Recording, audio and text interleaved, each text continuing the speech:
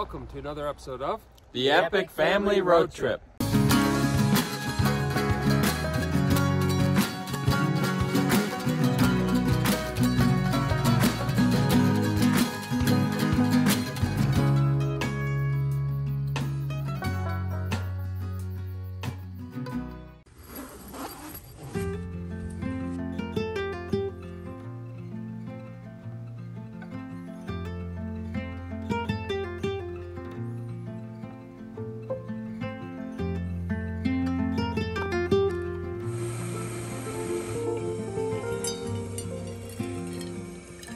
Morning, guys. We had a wonderful sleep here on the farm. This is um, another brother-in-law, uh, Nate and Sarah. They and their family run a huge grass seed farm. So they grow grass and then harvest the seed off. So a lot of the seed used in North America to seed lawns and so on are grown here in this part of Oregon and on this farm. So, um, but last night we were down by the pond, had a beautiful dinner with family. You know, while we're out here, it's always so nice to just be able to get together with family and, and spend time together because you you because time together is so precious. And we also have our brother-in-law Wayne who was diagnosed four years ago with uh, very very serious brain cancer. And uh, he has been fighting it for four years and they didn't give him much time. Definitely didn't give him four years. I think it was uh, a year or something.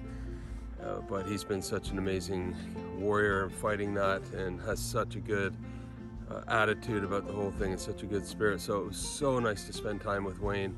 Um, and we were at his house yesterday for many hours and just a wonderful guy and his family that we're, we're so close with them and, and just in, enjoyed such a great time with them. And it really hit home for us how important it is to use your time together because you never know what the plans are. You never know when you'll lose someone who's precious to you. Also, with everything going on in the world and the the difficulty of crossing borders and traveling and seems to be getting more and more restrictive, you never know when you could get together. So any of you meeting with family, um, hug them and spend time with them and just enjoy each precious moment. So talking about family, the boys are back in Bozeman and we're here in Oregon and we have a 14 and a half hour drive not including stops. So we're probably thinking two days, two seven hour days or two eight hour days of hard driving and we'll be back in Bozeman. We can't wait to see the, the guys and hear all their stories. So jump in with us and let's go.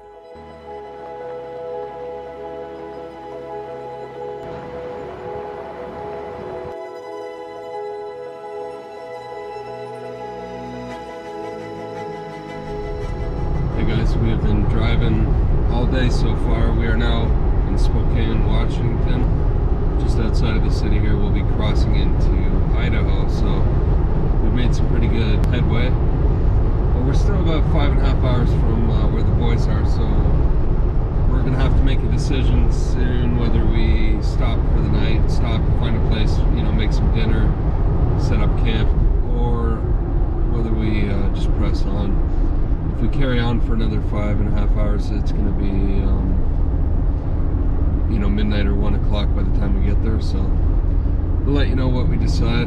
But yeah, it's been a long, one of those long travel days we do every once in a while when we're crossing a lot of territory. We're about halfway back to seeing the boys. We're really looking forward to that, and we're going to take you with us.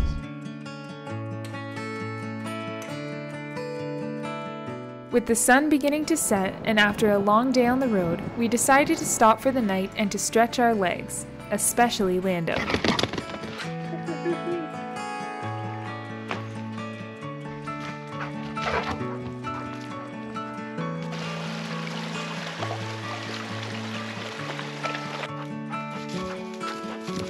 All right, guys, we've arrived in camp. We're all set up here. Nice, quiet place. Not too far off the highway. And so tomorrow morning we'll be able to get back on the highway and carry on. And uh, we'll be seeing the boys sometime tomorrow afternoon. So we're looking forward to that. Uh, so you guys have a good night, and uh, we'll see you in the morning.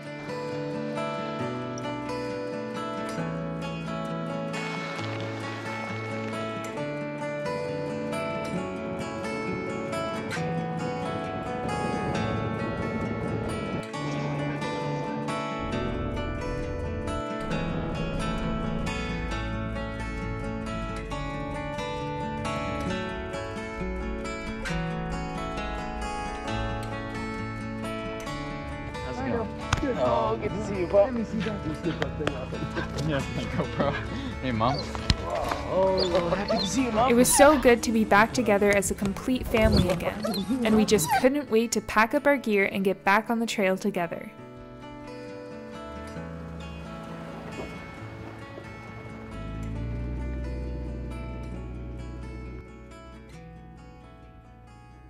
Oh my goodness, there's a bear.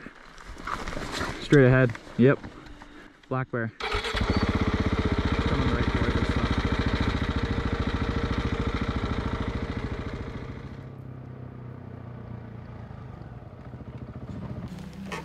There was, uh, we were coming up the trail just to get on the hill there, and right in front of us was a huge black bear.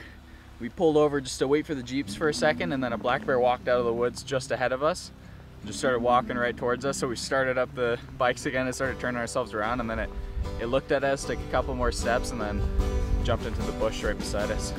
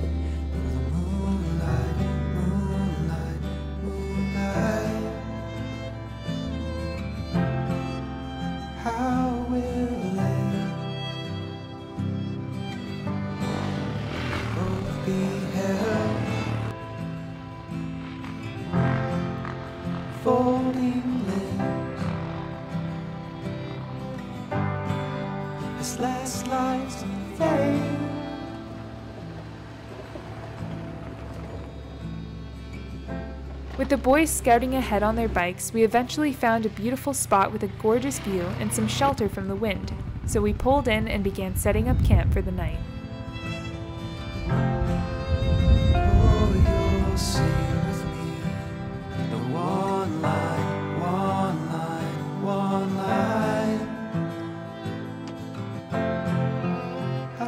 On tonight's menu was some delicious chicken tacos, and we used some of the fresh vegetables we had gathered at Carol's sister's farm in Oregon.